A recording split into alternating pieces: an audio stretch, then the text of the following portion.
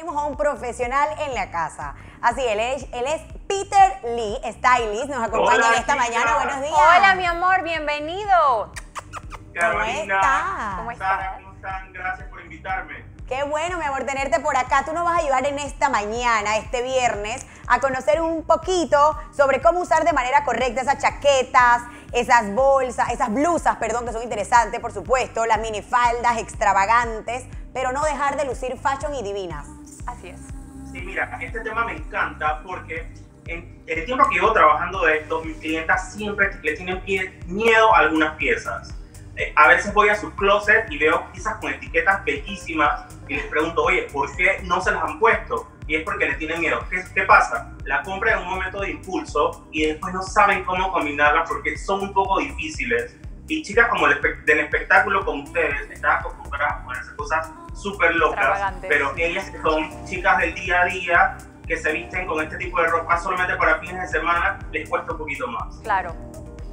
Háblame entonces cómo podríamos hacer. ¿Sabes qué? Eso pasa muchísimo. Ayer justo lo estábamos hablando, ¿te acuerdas? Exacto, y pasa de que en efecto, como tú lo mencionas, compramos impulsivamente, está bien. Si yo tengo una falda que es de flores, porque suele pasar, y como es de flores, tú dices, wow, me la voy a poner una vez con esto porque yo me la pongo seguida otro día y me van a decir que esa fue la que usé ayer. Ahora, ¿cuánto tiempo? Yo creo que una pieza tú la puedes volver a usar varias veces, no debería ser un problema, pero uno guarda como un cierto tiempo para que la gente un poquito De se lo olvide, no sé. Háblame cómo hacemos Claro, con eso. mira, eso pasa mucho. Cuando, termi- cuando estoy visitando los closets me doy cuenta que me dicen, no, este pantalón va con esa blusa. Y yo les digo, pero ¿por qué va con esa blusa? Exacto. Es que la compran y tienen como una combinación predeterminada porque la están copiando o la están emulando de alguna cuenta de Instagram o de alguna revista, pero hay muchísimas más posibilidades. Claro. ¿Qué es lo primero que tenemos que identificar entonces cuando queremos armar esos outfits que tú nos estás mostrando? Porque como bien lo dices, a veces hasta las mismas tiendas te colocan ya la combinación y tú te la llevas así, te quedas con esa idea como lo acabas de mencionar. Limitante. Sin embargo, ¿cómo podemos ir creando eso? ¿Qué es lo que debemos ver importante para irlo creando? Mira, lo básico para chicas del día a día que están empezando o están tratando de atreverse a ponerse cosas diferentes es guardar los balances. Yo siempre digo que en una novela siempre hay una protagonista, ¿cierto? Sí. Correcto. Entonces tratar de que esa pieza que es un poco más extravagante sea la protagonista y combinarla con otras que ya tienes en tu closet y te sientes un poco más familiarizada. Si quieres empezamos con las minifaldas. Belleza, vamos, entonces. Mira, tengo una, tengo una que no sé por qué creo que le va a gustar a Sara. A ver, Ay, no, a mí me no Y a encanta. Caro también. A mí me encanta. oye, y para bailar eso es fantástico. Oh, oh, oh. Oye, justo pedí por Amazon algo similar. ¿verdad? Es que, Sí, ahora- ¿sabes? Es eso, nos gusta como que... Vamos a hacer la combinación juntos y la subimos, ¿vale? Perfecto. Cuando te quieras hacemos la combinación juntos. Buenísimo. Dale.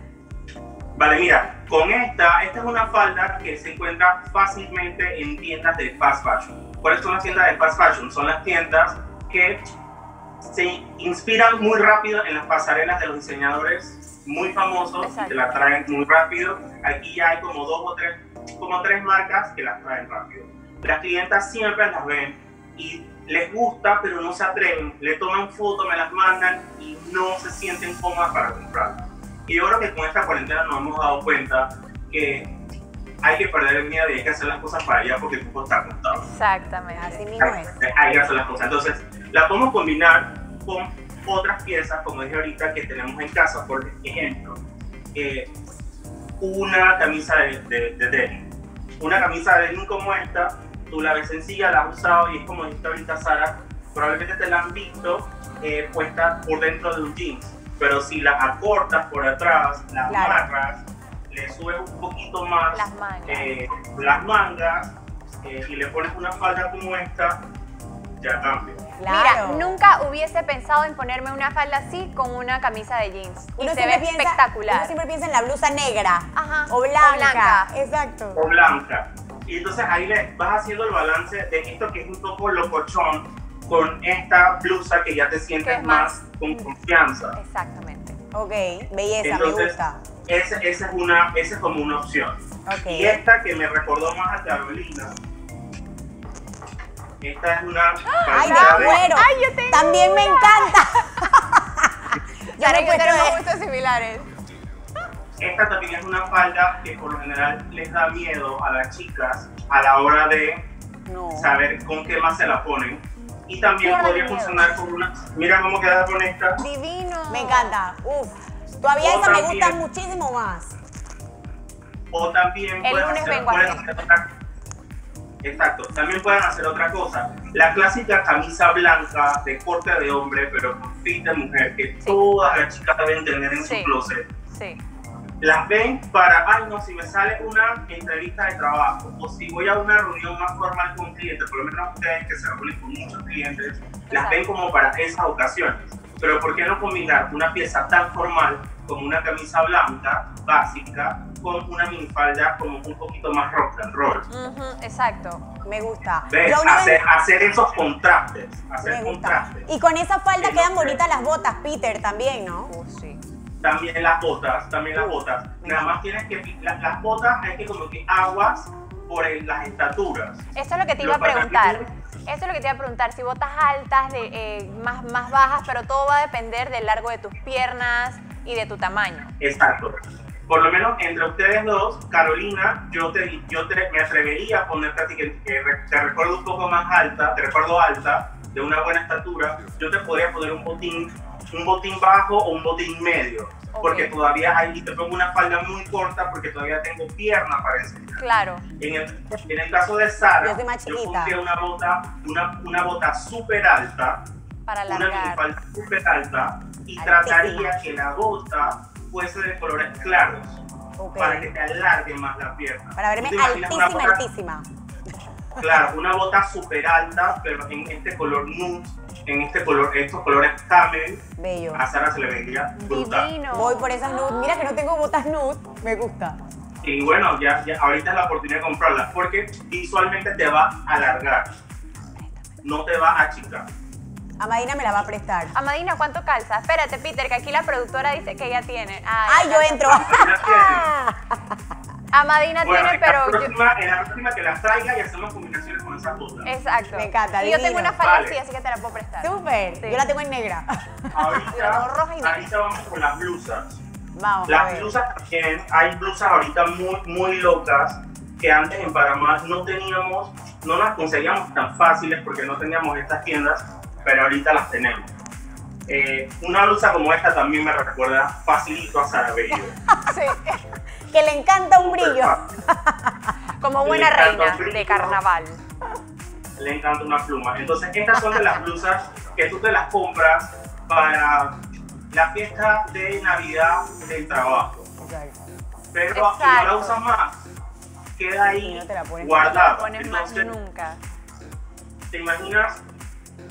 Cuando, cuando te invitan a una discoteca, piensas, ay, me la pongo con un jeans. A mí no me gusta eh, combinar piezas tan fuertes con esta y como quien dice, degradarla con, con una pieza tan básica Total. como un jeans, porque es como lo mismo, es lo que uno siempre piensa. Claro. A mí me gustaría intentarlo con un pantalón o con un jeans, probablemente blanco, Claro, cambia. Uf. Otra cosa. cambia, ves, tiene una onda como futurista, Exacto. como una onda más cool. Y si lo quieres, y si, esto es por, como si vas a una discoteca, pero si vas a una, a una celebración entre amigas, algo más chic, te lo imaginas con un palazo blanco, Exacto. Pero mira, un short blanco también y unos tacones, creo, ¿no? claro, claro, Divino. con un short. Para ti me encantaría, o con un palazzo, Ay, yo amo o los con un short blanco. Uf, yo amo los palazos. El pantalón palazzo, recordemos que no es el basta elefante. El, panta- el pantalón palazzo viene ancho desde arriba, Arriba, prácticamente. correcto. Y cae rectecito cuadrado. Esos son perfectos para chicas bajas como tú, Sara. Exacto. Uf, ¿Por yo qué? tengo de esos, mire, me encanta, es mi favorito. ¿Por qué? Porque los puedes truquear. El pantalón palazzo puede ser súper largo para ti y abajo lo truqueas con unos, unos zancos increíbles y nadie sabe que hay Totalmente, Peter. Cuando yo no me los pongo, cuando yo me los pongo, mido 1,80.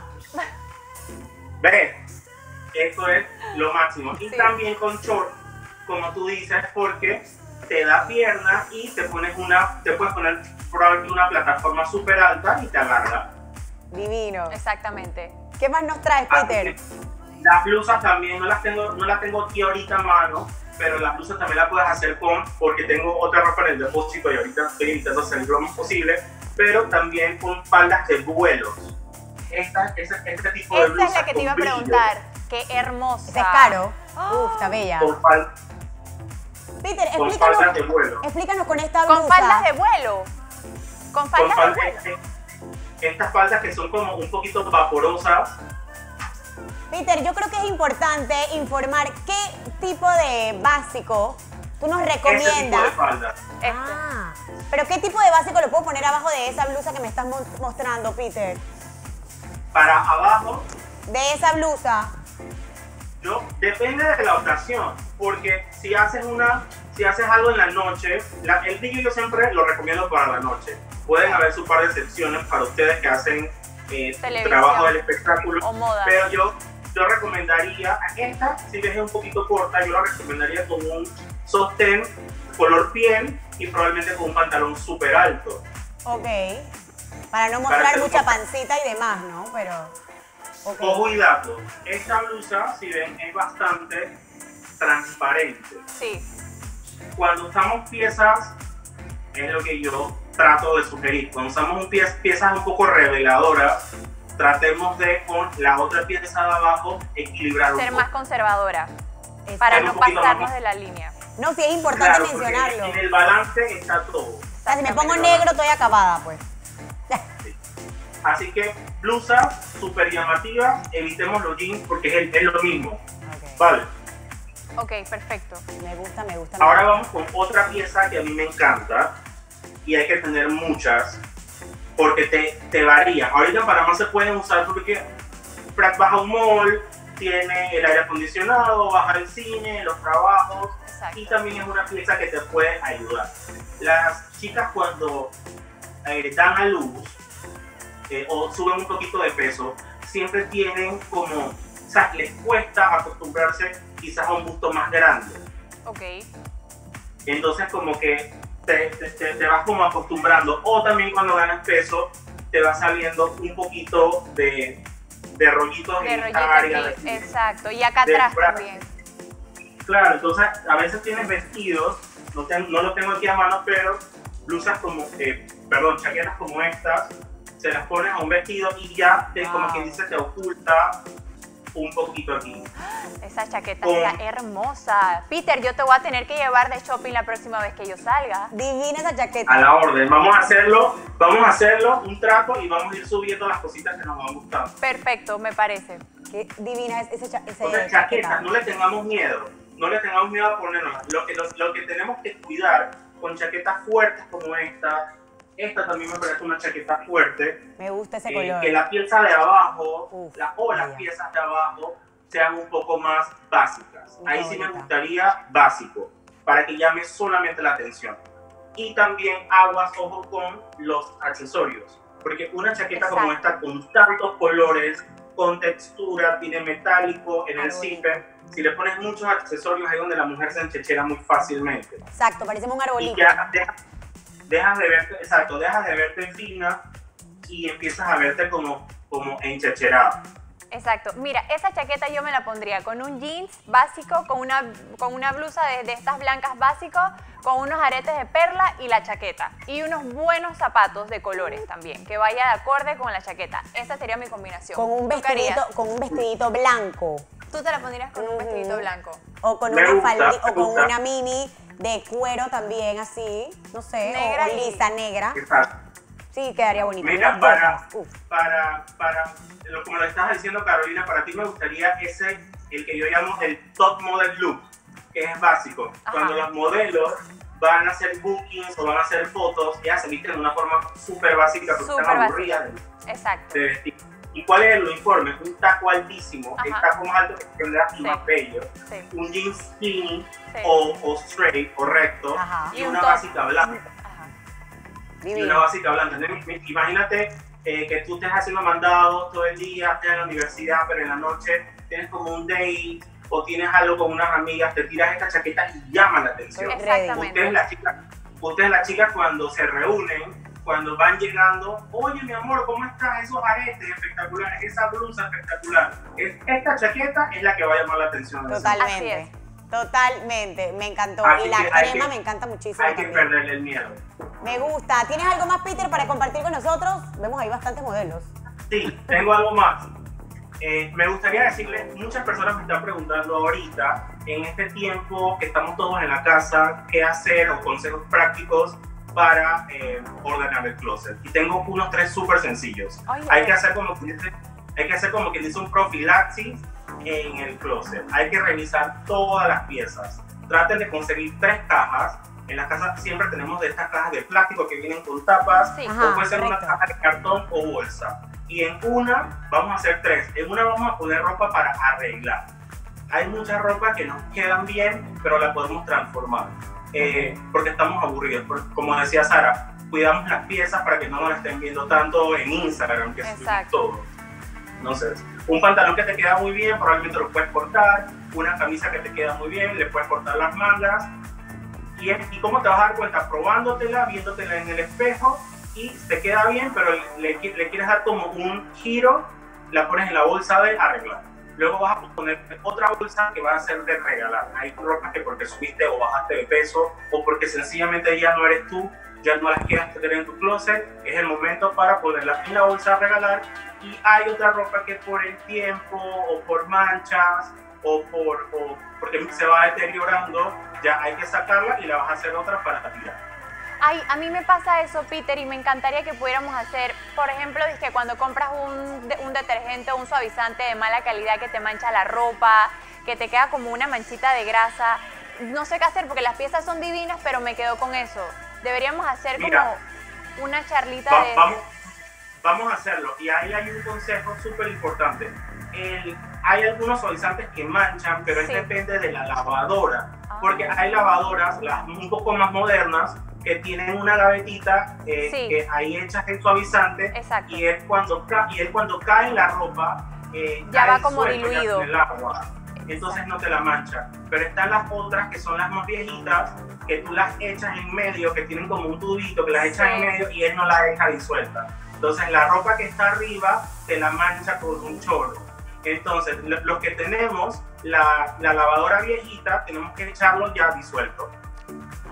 Ah. La Wow. cantidad, la O si no- cantidad que le vamos a echar de suavizante en aproximadamente un litro de agua y no te la va a manchar. O si no, agarrar y aprovechar eso, que si se manchó, hacemos diseños así, manchados por todo el pantalón divino. Que ahorita está muy de moda. está de moda. Sara. El- el Lo que pasa es que no sabemos cómo nos quedará, pero sería chévere. Una locura. El tie-dye es una locura. Sí, yo ah, justo, la- yo justo pedí mi kit en estos días también por Amazon, porque la verdad es que... ¿Pediste qué? Mi kit. ¿En serio? Sí, para diseñar. Y también en las farmacias consigues las latitas, que son los colores de los tintes. Hay de agua fría, hay de agua caliente. Ay, ¿en en, serio? Instagram, en, en Instagram y YouTube hay muchísimos tutoriales para cambiar la ropa. Lo que hay que hacer, y ahorita, que no lo hacemos porque no tenemos tiempo, pero ahorita tenemos tiempo, es probarnos la ropa, vernos al espejo y echar rienda suelta a la imaginación. Wow. Oh, no sabía Oye, que me ha encantado. Yo imagino que tienen que estar los televidentes súper contentos, Todas tomando nota de todo. Sí. Peter, gracias, gracias por habernos acompañado aquí en Mujer. Excelente los tips que nos has dado. Oye, sería buenísimo coordinar una próxima. Sí, Peter, nos que- encantaste. Claro, dijiste un No, que gracias a ustedes por invitarme. A ti, gracias. Cuídate mucho. Chao. Me saludan a Pablo. Claro que sí, aquí está escuchando. Acá estoy, lo que, pasa, lo que pasa es que yo no tengo falda, entonces no Podía meter, pero saludo, hermano. Esas que son cortitas aquí. Bueno, la, la próxima lo conversamos y vemos. Ay, Dios mío. Oye, sí, podemos Vale. hacer, Peter, podemos tener un segmento también para hombres, ¿por qué no? Claro, sería bueno. Claro, claro, claro. Que los hombres Mujer. ahorita, los hombres ahorita están tratando de, de- de sacarse esos, esos tabús que hay. Ajá, correcto. Vamos a empezar, vamos a empezar con los hombres y el color rosado. Amo el Oye, color bien. rosado, yo estoy. La próxima. A Bárcenas uno lo- les encanta, oye, divino. Cuídese. Sí. chicos, un beso. ¿Cómo le gusta un A mí me rosado? gusta mucho el rosado.